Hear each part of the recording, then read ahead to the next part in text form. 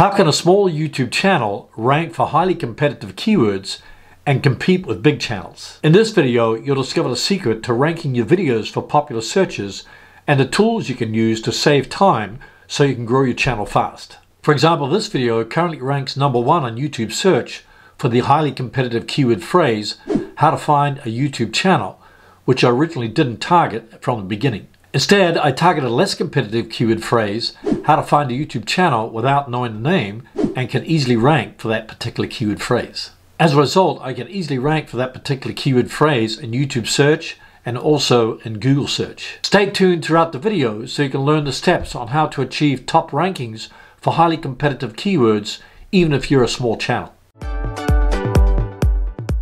Step 1. Find a highly competitive keyword phrase you wish to rank for.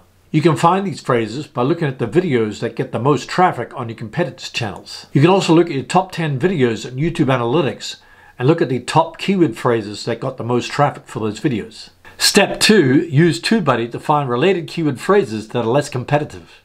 I'll place a link to TubeBuddy in the description below this video. Use promo code HermansBuddy to get 20% off any paid upgrade. Enter your main keyword phrase in the Keyword Explorer tool of TubeBuddy in this case I've got how to find a YouTube video, immediately you'll get a bunch of related suggestions. You can use these suggestions to create a series of related videos and put them in a playlist.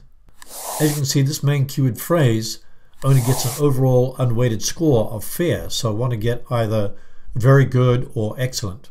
Number of videos in search results is 201 million, and number of monthly searches is 300.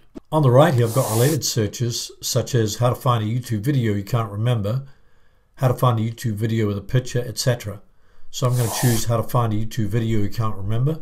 Now the overall unweighted score has changed to excellent, which means it's a very good phrase to target for my video. It says the keyword isn't too competitive and it has enough search volume to make it worth targeting. Now it's got number of videos and search results 54.6 million, which is much less than my main keyword phrase.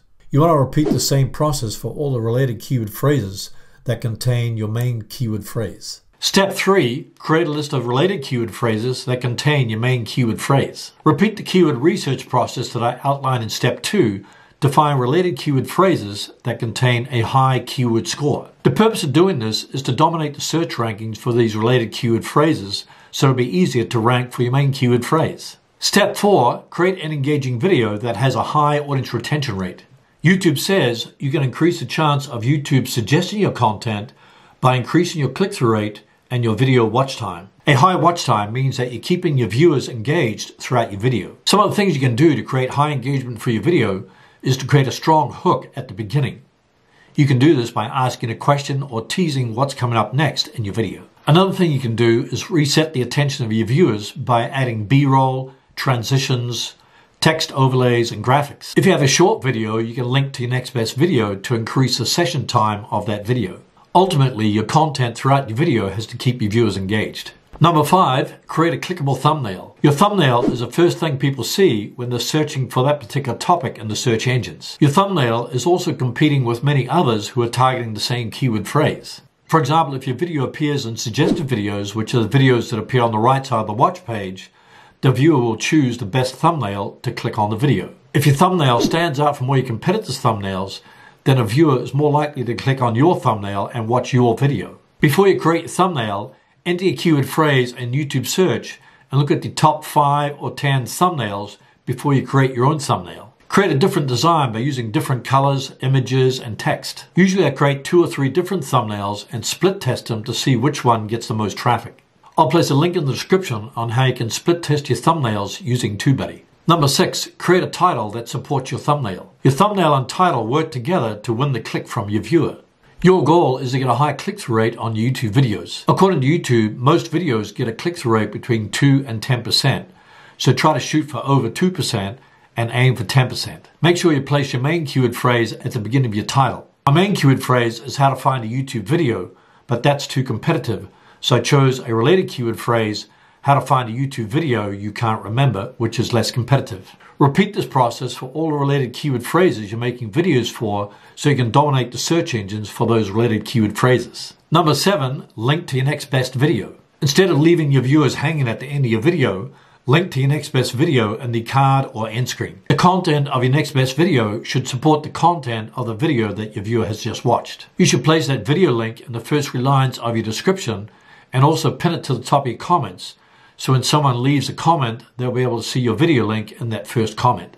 The purpose of linking to your next best video is to increase your watch time so you'll get into suggested videos, which is free promotion by YouTube. Ideally, you want to create a series of related videos and put them in a playlist, then link to the video in that playlist at the end of each video. This will encourage your viewers to binge watch the videos in the playlist. Number eight, share your video on YouTube and social media sites. YouTube encourages you to share your video on Facebook, Twitter, LinkedIn, Pinterest, etc. This helps your video content get exposed to new audiences. On YouTube, you can create a community post to share it with your subscribers. You can add a video, add a poll, or add an image, and you can even schedule your community posts. Community posts also get picked up by the search engines. Keep in mind that only creators who have over 1,000 subscribers have access to community posts. You can also create a 15 second YouTube story that promotes a hot tip from your long form video. I post hot YouTube tips every day on my YouTube stories, so make sure you subscribe to my channel and click the bell notification icon so you'll be notified about my stories and my videos. Keep in mind that YouTube stories will appear on the YouTube app when viewers are scrolling YouTube on their phones. You can also create a 15 to 60 second shorts video that promotes a tip from your long form video, then link to it at the end of that video. Viewers will also see your YouTube shorts on the short shelf when they're scrolling on the YouTube app on their phones. Step 9. Track results in YouTube Analytics. Click on the Reach tab in YouTube Analytics to look at impressions, impressions click-through rate, views, and unique views. Impressions is a total number of times your video thumbnail was shown to viewers since the video was published. This measures how often viewers watch the video after seeing an impression. Unique viewers is the estimated number of people that watch your video in a selected date range. If you click on the engagement tab, you can see the audience retention for that specific video, which breaks down to average view duration and average percentage viewed. You'll also be able to see the key moments for audience retention. The introduction is where viewers are still watching your video after 30 seconds. Spikes in a graph means that more people are watching that part of the video than previous parts. Dips in the graph means that fewer viewers are watching that part of the video compared to previous parts. If a video in your playlist series of related videos is getting a lot of traffic, move that video to the front of your playlist. This will motivate viewers to continue watching more of your videos in the playlist. Step 10, repeat the steps 1 to 9 so you can rank for highly competitive keywords. Your ultimate goal is to dominate the rankings for all your related keyword phrases so you can rank for that main keyword phrase. Another goal is to get into suggested videos so you get free promotion by YouTube. Watch the video on the screen right now on how to get discovered on YouTube via suggested videos. You'll learn how to get your videos freely promoted by YouTube.